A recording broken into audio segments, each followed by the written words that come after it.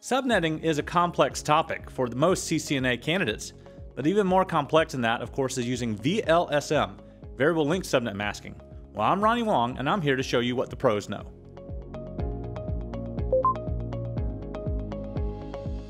All right, many CCNA candidates, as they learn how to do subnetting, they take to that fairly quickly and easily. But when it comes to variable length subnet masking, that's when they start running into issues because they begin to start off with that same idea of creating equal, but of course smaller and different networks. With variable length subnet masks, remember that we're actually having different subnets within the block that we're doing. So here's a typical example of how most candidates begin to tackle this and then they get frustrated. Let me show you what's going on here. So here's an example of this network, right? 192.168.128.0 with a slash 24. So we know that that's one class C network.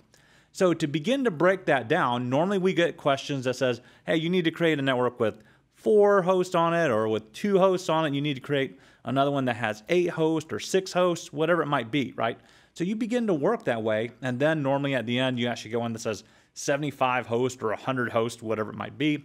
So here's a breakdown. I did it fairly standard in the way that we do. So if we start over here on the left-hand side, notice that we started off with the smallest networks here that give us two hosts and then that continues to increase. So I just incremented by, of course, adding in one additional bit here, the slash 29 instead of slash 30. And as you go on through, you see that it actually creates networks.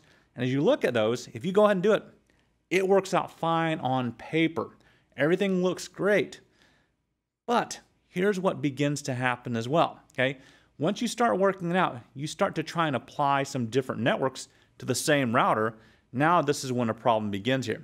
So let's take a note here. We'll just use these first two as our example of the 128.0 network and the 128.4 with these subnet masks. So I've brought up a router for us, and let me zoom back out so that we can see this. And we'll just start with uh, interface gigabit 0 slash 0. I do an IP address. Have to spell address right. 192.168.128.1 and we'll do the 30-bit subnet mask here. So that's a no shutdown. So that makes sense. So our next network is the one that begins with the dot four is what we see right here. So I know that in the next interface over here that it should allow me to do should be IP address 192.168.128.5, which is going to be my first host. And then that's going to be a 248 subnet mask as well. And when I do that, there we go. We get this particular notification and we wonder why. Why is it actually doing something like this when the subnet mask, the variable length subnet masking, worked out perfectly on paper? Then you might go, all right, so that didn't work out, but why? So you go to a subnet mask calculator, and this is what begins to show you what can happen. So we've got the same thing over here. So I just picked one that was online, 192.168.0.1 address. But if I go ahead and choose this 0. Dot, uh, let's do the 128 here to make it fair and equal. So once I do that, we can start seeing, let me go ahead and do that so we can see the actual entire range here. So there's 1 through 254. But we change that to a slash 30. So there it is. 1 and 2 are part of the network here, so that's good. So let me go to the very next network and we'll say dot four and we'll change this up to the 248. And now notice it didn't begin at four, which is where my math should have began. Okay. It actually went all the way back to the zero is what we see here on the subnet ID. So why did that happen? It happened because of the way that subnetting ends up working or binary math ends up working. You have to take the largest chunks first because it doesn't give us any remainders to be able to do what we want to do. Now, I know that there's probably a technical term that somebody can actually answer, so please do put those in the comments. I don't know what the technical term for it is, but let me show you the proper way to do this. So for us to not run into any issues like that instead, what we want to do is we want to do it this way. Now, if we do it this way, notice what ends up happening instead. So we want to start off on the left-hand side with the largest block that we want to create. So whatever list that they give you, make sure you take the largest chunk of possible hosts that you can get. So for example, here I have 126 hosts. If I'm asked to create a network that gives me a possibility of 100 hosts, and then I get one that says possibility of 50, I get one that says possibility of 30, and then 10, and of course you continue to go down, always choose the largest one first.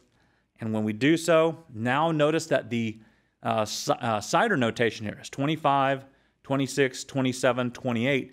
And it begins to do this where now the number of hosts begin to drop. And notice that each subnet size is decreasing. And that even leaves me with ability to actually create two different smaller networks as well. So it's just the way that the block size ends up working out, and it has to do with that binary math. Now, let's verify that I'm, what I'm telling you is true. So if we start off with this one, let's go to the subnet mask calculator, which is faster than me typing. So we'll start off here. And instead, we'll start off with the 128.0. And then we'll change this to that slash 25, which is going to end in this 128. And now notice it actually brings me over to that next network, okay? Or to that first network here, beginning with the subnet ID of uh, uh, zero, okay? Couldn't remember what the subnet ID was. Now, let me verify, so I'm not lying to you. So notice the next network here is 128, which means the next address that I can use is 129.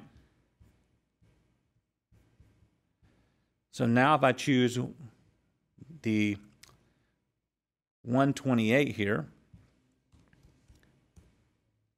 and then we'll go all the way down to this one, which is a slash 26, I believe.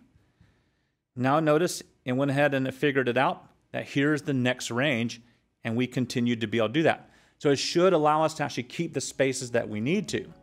So remember that as you continue to do variable length subnet masking, always start off with the largest chunk that you're given first, and that will ensure that you won't run into problems that look exactly right on math, but it'll actually work out correctly on your routers. And of course, you can verify it using subnet calculators as well. Well, I'm Ronnie Wong, and that is what the pros know.